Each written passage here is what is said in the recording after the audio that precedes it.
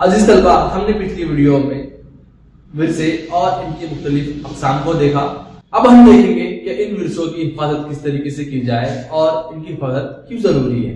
आने वाली नस्लों के लिए इन विरसों की हिफाजत करना ज़रूरी है। उनके लिए हमारी रिवायात और हमारे जो बाकियात है, उनको बाकी रखना ज़रूरी है ताकि वो हमारी तारीख को समझ सके। अज़ीज़ तलबा, जब भी आप कोई हमारी कदीम बाकियात को देखते होंगे तो आपके दिल में भी कहीं ना कहीं बात आती होगी कि ये जो चीज़ें हैं ये हमारे आने वाले नस्लों तक भी बाकी रहना चाहिए। उन्हें भी पता चलना चाहिए कि हमारे जो बाबा अजदाद ने क्या किया है और कैसे किया और उनकी हमारी तारीख क्या है। हमारे जो विरसे है, कुदरती बोलिए या फिर जो तारीखी है, जो इंसानों के ज़रिए बनाए गए हैं कुदरती है, उन्हें बहुत नुकसान पहुँच रहा है या बर्बाद हो रहे हैं जी तलबा तो इनको हमारे आने वाले नस्लों के लिए, बाकी रखने के लिए या इनकी हिफाजत के लिए एक तंजीम कायम की गई, जिसका नाम यूनेस्को है। United Nations Educational Scientific and Cultural Organization इसका फुल फॉर्म है। अज़ीज़ तलबा ये जो है, एक आलमी तंजीम है। अज़ीज़ तलबा इस तंजीम ने हर मुल्क में जो कुदरती और सकाफती विरसे है, इनकी लिस्ट जारी की है, इनकी फहरिस्त जारी की है, जिनका तहफुज करना ज़रूरी है। ये तंजीम हर मुल्क में मौजूद, अहमियत के हामिल, वो कदीम कदीम विरसे और कुदरती विरसों की एक लिस्ट जारी करती है। अज़ीज़ तलबा ये जो विरसे है, इनकी हिफाजत या निगाह रास्त की जो ज़िम्मेदारी होती है, वो मरकजी हुकूमत का महकमा, आसार कदीमा और हर रियासत का रियासती महकमा, आसार कदीमा के जुम्मे होता है। और कुछ ऐसी प्राइवेट तंजीमें हैं, संस्थाएँ हैं एनजीओ है, जिन्हें लगता है कि इन विषयों की हिफाजत होना चाहिए। या फिर जिन्हें लगता है कि गवर्नमेंट लेवल पे इनकी हिफाजत जितनी होना चाहिए, उतनी नहीं होती है। वो लोग भी इसमें हिस्सा लेते हैं। जैसे कि एक, जैसे कि एक तंजीम है इंटेक्ट इंटेक्ट का फुल फॉर्म है Indian National Trust for Art and Cultural Heritage ये तंजीम उन्नीस सौ चौरासी से इस काम को अंजाम दे रही है। यूनेस्को के मुताबिक इन विरसों की निगाहदाश्त और हिफाजत में माहरीन का होना ज़रूरी है।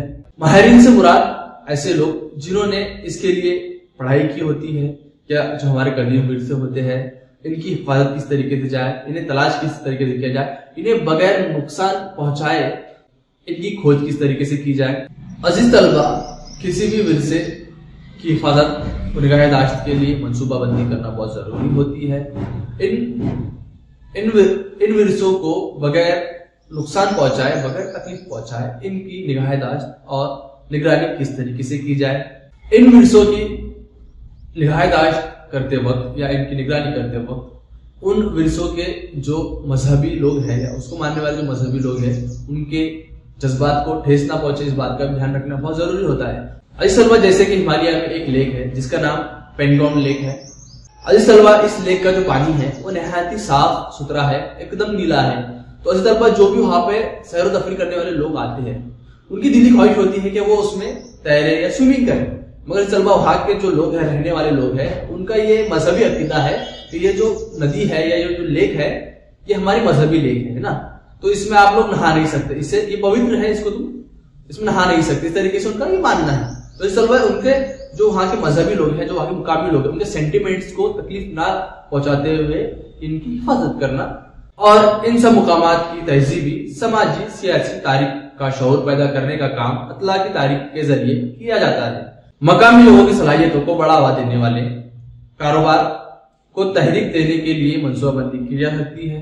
अगर आप ताजमहल देखने के लिए गए होंगे तो आपको पता होगा कि ताजमहल के बाहर के जो बस्ती है, जो दुकानें हैं, वहाँ पर संगमरमर से बने हुए जेवरात मिलते हैं, हार मिलते हैं इयरिंग्स मिलते हैं ना। अगर आप अजेंडा या एलोरा गए, घूमने के लिए गए होंगे तो वहाँ पर अच्छी तलबा आपको छोटी छोटी मूर्तियाँ मिलेंगी बनी हुई, है ना। तो इस तरह का मतलब क्या है कि ये जो चीज़ वहाँ के जो लोग हैं अभी भी उस तरीके से जुड़े हुए हैं और वो वैसी अशिया बनाते हैं वैसे सामान बनाते हैं ना? अगर आप पंजाब में देखो तो वहाँ के बहुत मतलब जो पित्तल और तांबे के जो बर्तन है बहुत फ़ेमस है ना? तो वैसे बर्तन हमारे यहाँ आमतौर पर मतलब नहीं मिल पाते बन, नहीं पाते लोग और वो हाथ से बने हुए होते। तो ऐसे तलबा ये जो होते हैं रिवायती जो लोग होते हैं जो रिवायती इनकी कारोबार है ये जो होते हैं हर जगह नहीं पाए जाते इसीलिए इसको बढ़ावा देना ज़रूरी है।